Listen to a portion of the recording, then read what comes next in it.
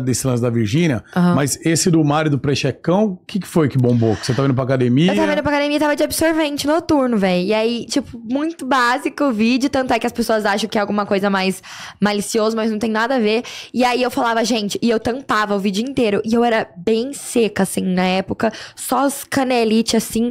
E aí eu tirei, assim, parecia que eu tinha. Sete, parecia que eu tinha um saco mesmo. E aí ficou muito grande, viralizou. Tanto é que esse nem é o meu vídeo mais viralizado, é que na época foi o que bombou, assim. Mas acho que ele tem um milhão de curtidas. É, é bastante coisa, mas Hoje em dia eu tenho vídeos que tem mais likes.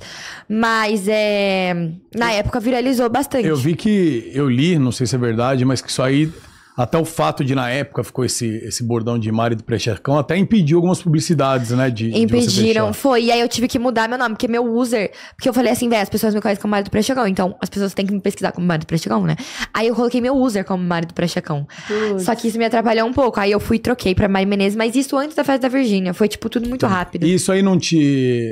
Não deixou você bolado? Você levou na boa e falou: que é isso, vou me aproveitar disso mesmo. Não, porque na que virou. época tava muito alto esse, esse hype, assim. Então, ao mesmo tempo que não tinha, tinha publicidade pra e, fazer. E sua mãe, seu pai não ficaram meio assim, pô, Mário do Prechecão, filho? Que, é, gente, no começo todo mundo queria me deserdar da minha família. Não tem nem o que herdar, eles queriam me deserdar.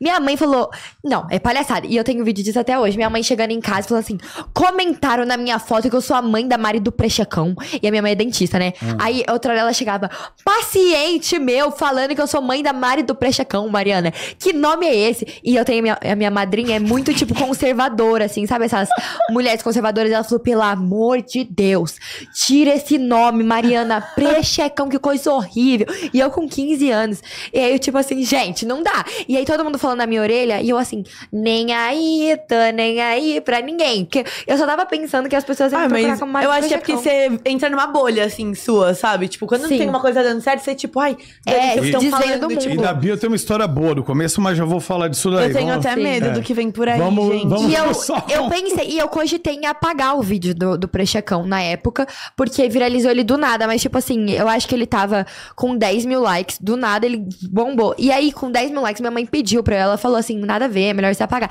E eu falei: que? Tem 10 mil likes, mas tá doida? 10 mil likes eu não vou apagar nem ferrando, já tô famosa. Porque pra mim, meu filho, quando a gente tem pouco, assim, mil seguidores, pô, pra mim.